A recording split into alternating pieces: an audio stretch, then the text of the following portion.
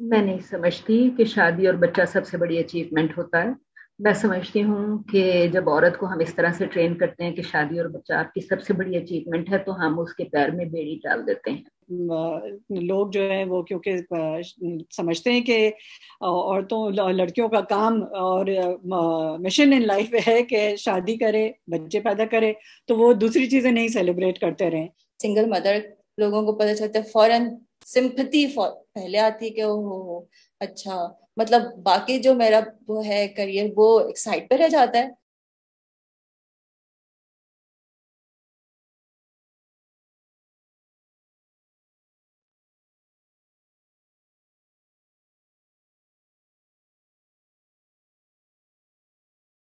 हमारी purpose in life ही यही है कि हम शादी करें एक अपना पार्टनर ढूंढें प्रोक्रिएट करें नेक्स्ट जनरेशन को खड़ा करें तो एक ये कॉन्सेप्ट जो है, वो इतना हमारे में बचपन से ही इम्बेड कर दिया जाता है स्पेशली लड़कियों के दिमाग में। मेरे इन लॉस में किसी मेरी सिस्टर इन लॉ ने, जो कि क्वालिफाइड डॉक्टर है, उसने मेरे फुल ब्राइट स्कॉलरशिप पे इतराज किया।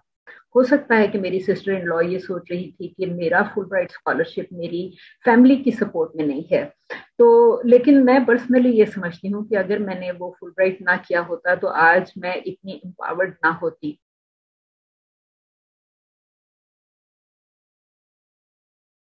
मेल एजुकेट एजुकेशन हासिल कर रहा है आफ्टर मैरिज तो उसको घर की तरफ़ से यकसुई मिल रही होती है, वो सिर्फ़ एक तरफ़ अपना फोकस कर रहा होता है। लेकिन अगर खातून अगर कोई लेडीज़ तरह करे तो उसको वो अंडरस्टूड है कि वो घर के भी सारे काम करेगी।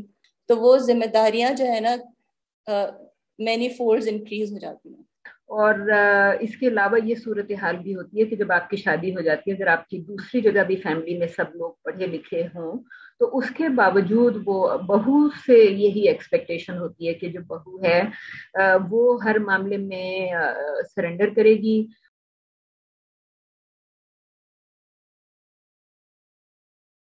मैं हर लड़की को कहूँगी कि वो ज़रूर एक करियर अपनाएँ और अगर उनको कोई प्रेशर है कि नहीं, आप बाहर नहीं जा सकती काम करने के लिए और आपको घर में ही रहना चाहिए या आप बच्चों को ही वो करें तो कोई मसला नहीं है। आप वो भी कर सकती हैं, मगर फिर भी आप घर में बैठे बैठे आप काम कर सकती हैं। बहुत सारी जगहों पे थोड़ी देर के लिए स्टॉप हो जाते हैं कि नहीं, ये लोग क्या कहेंगे? या इस तरह से क्या होगा, उस तरह से क्या होगा? अगर मैंने ये कर लिया, ये सारी चीज़ें आपको बेयर करनी होती है। वो मतलब सारी प्रोसेसिंग माइंड में चल रही होती है। मैंने कभी इन सब चीज़ों को अपने पर हावी नहीं होने दिया।